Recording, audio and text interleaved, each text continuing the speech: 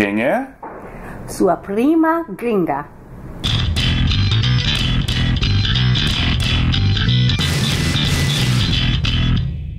Vamos falar hoje com minha prima, que é a minha única parente que mora em Nova York. Ela mora em NoHo, que é um bairro ao lado do East Village, entre o East Village e what's on the other NYU. side here? Perto de NYU. E nome dela é Candy. Candy! Candy. Thank you for being with us today. Delighted. Uh, you're a big fan of Amigo Gringo, of I course. am, of course. You even yes. know how to say uh, Ah, puta bada. babaca? Yeah. Just quickly, how are we related? okay. My grandfather, meaning your great grandfather, was born in 1864. Can you imagine? Then your grandfather, who would have been my uncle, was born somehow in the late 1890s somewhere. Okay. My father was born in 1910. So you are an animator. I am. Can you tell what what is that? I mean, people know what it is. What is it? To you, what is Well, it? for me, I started back in the day before there were computers, before there were, you know, video. I actually You come. drew things I drew things with your hands. with my hands on paper. Can you tell us what do we have here? Not to get. I mean, Yes, this is I decorative. don't have it out all the time. Right, I'm doing hidden. this for you. Right. This is an Emmy, and it's part of the oh. Television Academy. It was an award for some work that we did for a children's show. It's Polly and the Pirate. Hi, I'm Polly, I'm a parrot. I'm Polly, I'm a pirate. We search for treasure, shouting yo ho ho. We think it's jolly that both our names are Polly. Yes, we're Polly and the pirate. That's Polly and the parrot. And here's our show. Okay. What do we got here? So I'll do a close up later. A commercial. And so one side of this was Xeroxed on the front, and then on the back you would paint the color. Oh. So that's how cels were made. And there's And many layers of acid. for? That's what this is. Yes. But you don't use this anymore. No, but I can't get Just rid of it. How would you describe your kind of work? In the commercial business, what I am best known for is something I did before I was 30 years old. Okay. which was for MTV. We did a whole bunch of the early MTV stuff, including the first Man on the Moon stuff.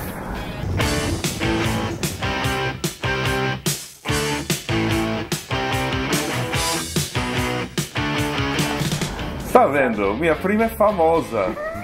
Não, o trabalho da minha prima é famoso. That is a famous, iconic image. It is, and I can only say I fell into it. I wanted to do my own films, but I also needed to make a living. And most of the people in the studios were 20 years older than me. And I was just a young person. No one wanted to do animation when I got into it. It was just something that I found really cool. I met someone at a party. I constantly meet people party. at a party. Yeah. who was working uh, as an advertising agency for radio stations, and they wanted um, to do an animated commercial. The new technology at the time was that you could take 16 millimeter film and Xerox it, so you could end up with uh, pieces of paper that were frames of film. Okay. And so we took uh, some footage of Hollywood premieres and stuff, and then colored it and did all kinds of stuff, and threw these guys on top of it. And it was done really cheap and really fast. And I was the youngest person in the studio, so they gave that job to me.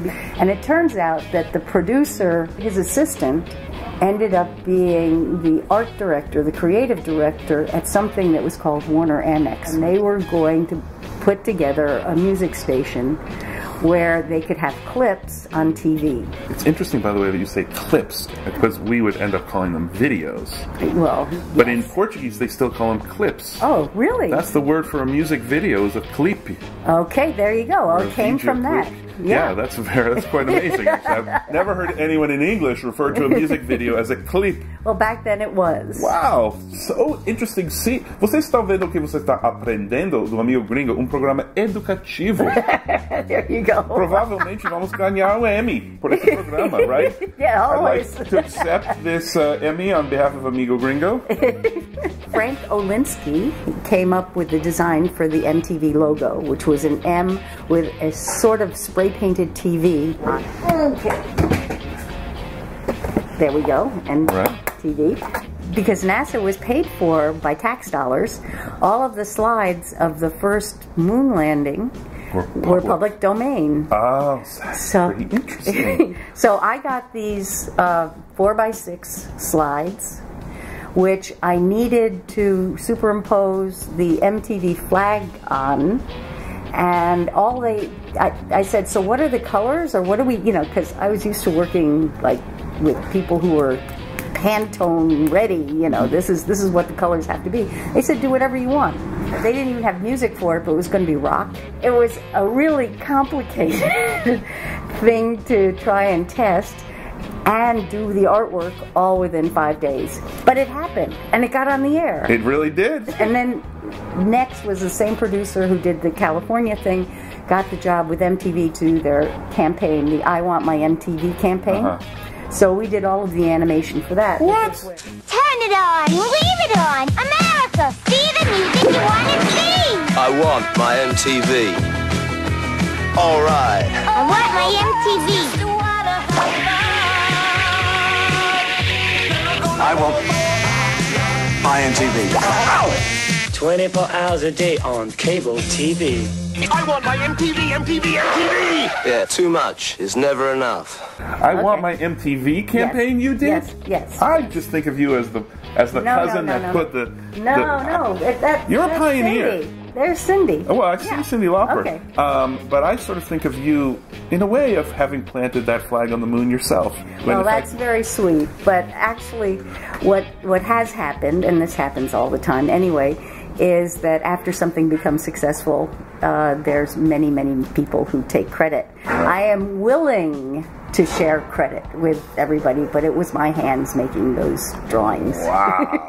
So, how has uh, animation changed? How has the industry changed over time? Well, when I first started, when I was 19 years old, uh, animation was basically like being a magician. There weren't any books about it. There were very few places that taught animation. And the big studios had a whole system of starting very much at the bottom, learning the craft. Then books started getting published, letting the secrets out. By the late 90s, though, the technology started taking over. And uh, John Lasseter did Luxo Jr., which started the whole CG thing, which then became Pixar. Uh, in, in the 2D animation, the drawn stuff, it became easier and easier to not have to go through a camera service, not have to go through a film lab, and you could end up with various kinds of software, including Flash, which was one of the first, to get stuff directly digitally done.